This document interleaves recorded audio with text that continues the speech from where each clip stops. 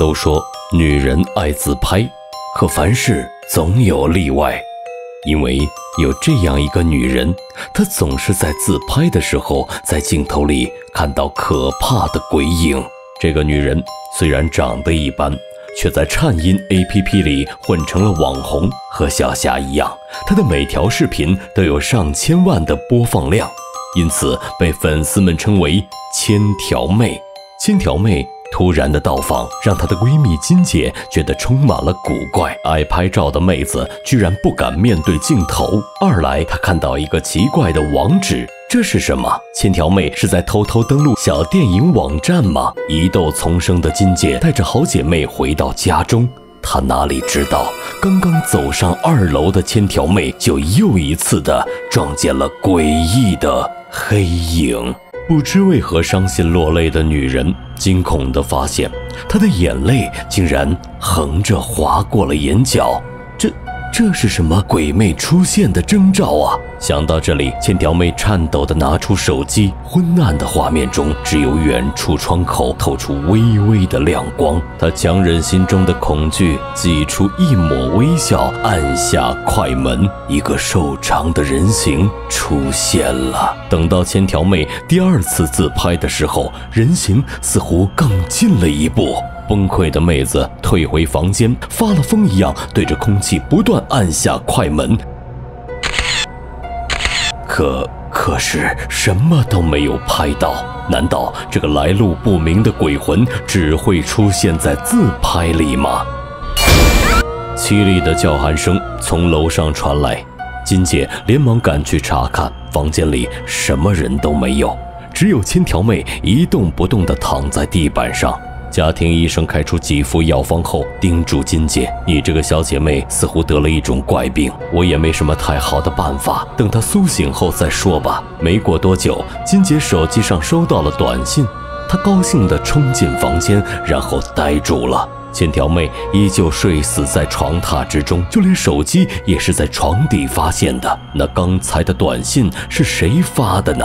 金姐还没想明白，怪事再一次发生了。她点开千条妹发来的语音信息，里面传来的却是嘈杂的噪音。她推开房门，果然千条妹仍在昏睡中。如此灵异的现象让金姐细思极恐，这到底是怎么了？入夜时分。房间里的阴气变得越加凝重。刚刚躺下的金姐看到屏幕被点亮了，小视频中出现了千条妹的模样。谁？是谁在给她拍视频？吓到汗毛倒竖的金姐拿着水果刀在昏暗的房间里摸索。偌大的房子里似乎有什么东西伺机而动。然而金姐什么都没有找到。一场虚惊后，她只好向网友马克求助。马克告诉他：“你可能真的遇到鬼了，搞不好你家里是住了什么脏东西。脏东西？难道是？”头皮发麻的金姐赶紧搜索千条妹的消息，发现网页里跳出的居然是网红千条妹离奇死亡的新闻。什么？千条妹死了？那住在我楼上的女人又是谁？难道她这两天以来都是和死人同居吗？金姐冲进了房间，掀开被子查看千条妹微热的身体以及安详的面容，看上去根本不像一具凉透了的尸体。等等，这是什么？金姐低头一看，双手不知何时沾满了鲜血。按照马克的说法，在千条妹身上发生的种种怪事，很可能都和那个网址有关。那串英文背后指向的是互联网的法外之地——暗网。管不住好奇心的金姐点开了链接，一张张照片在他眼前闪过。被害人的恶作剧惊出一身冷汗后，金姐接到了一通电话，一个沙哑的声音在她耳边响起：“你能感觉到吗？独自在家的时候，有另一个存在躲在你的身后。”不信邪的金姐刚一转身，就看到千条妹如厉鬼一样笑着看着她，是幻觉还是真的？已经被吓破胆的金姐只好再次请教马克，而男人则认为只有在千条妹最后一条视频里才能找到真相。视频里，千条妹扭曲的表情让自拍画面显得分外狰狞。这个女人不断重复一句话：“千万不要看我这段视频，否则会有邪恶的东西缠上你。”这，可是我已经看了呀。金姐此时再后悔，已经太迟了。午夜梦回，只见披着长发的千条妹慢慢的从天花板上倒垂了下来。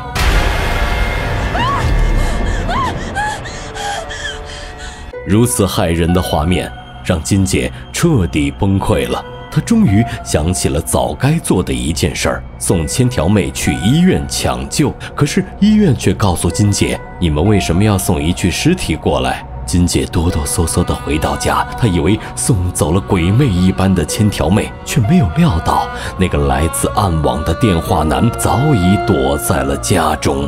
在电话男的坦白中。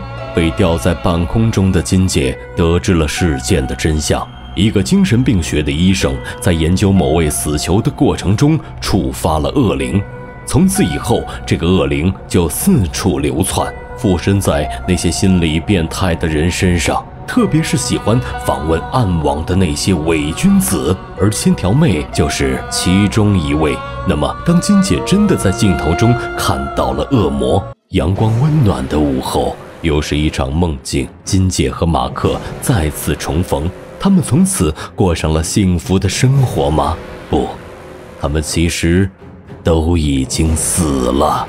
老司机想说，地狱自拍最恐怖的地方不是一惊一乍的鬼，而是看完之后我才发现，这根本就是一部看不懂的大烂片。我想不通，为什么鬼说来就来，说走就走。我也想不通，千条妹到底是生还是死？我更想不通，为何我要浪费生命去看这样一部电影？不，我想明白了，老司机还不是为了你们这些可爱的粉丝们吗？快别忙着自拍了，快点给我点个赞，加关注吧！